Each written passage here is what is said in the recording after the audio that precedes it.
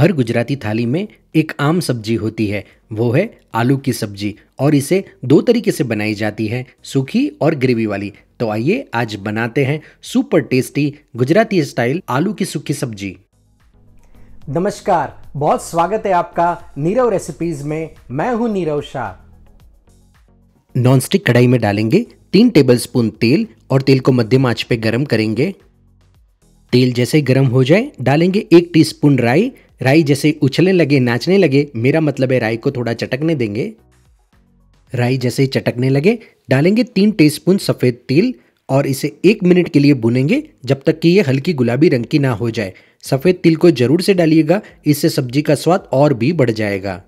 तिल को भून लेने के बाद डालेंगे एक चौथाई चम्मच हींग, दस से बारह करी पत्ता और हाफ़ टी स्पून हल्दी पाउडर।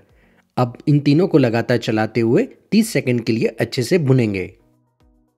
हल्दी को हल्का भून लेने के बाद डालेंगे एक इंच अदरक और दो मीडियम साइज़ की हरी मिर्च। इन दोनों की मैंने पेस्ट बना ली है।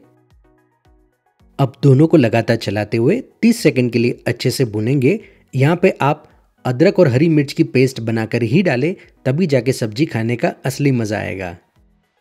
पेस्ट को भून लेने के बाद डालेंगे 500 ग्राम उबले हुए आलू, जिसको मैंने क्यूब शेप में काट लिया है, और इसी के साथ डालेंगे नमक। नमक स्वाद अनुसार और इसी के साथ डालेंगे दो से तीन टेबल स्पून जितना पानी। अब आलू को लगातार चलाते हुए तीन से चार मिनट के लिए मीडियम फ्लेम पे अच्छे से भूनेंगे।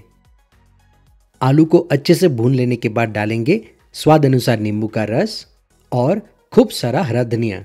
इस सब्ज़ी को गर्मा गर्म पूरी या रोटी और साथ में ठंडा ठंडा आम रस या फिर कड़ी के साथ परोसे बहुत ही ज़्यादा स्वादिष्ट लगती है। तो लीजिए सिंपल और बहुत ही स्वादिष्ट गुजराती स्टाइल आलू की सूखी सब्ज़ी बनकर तैयार है। Thank you for watching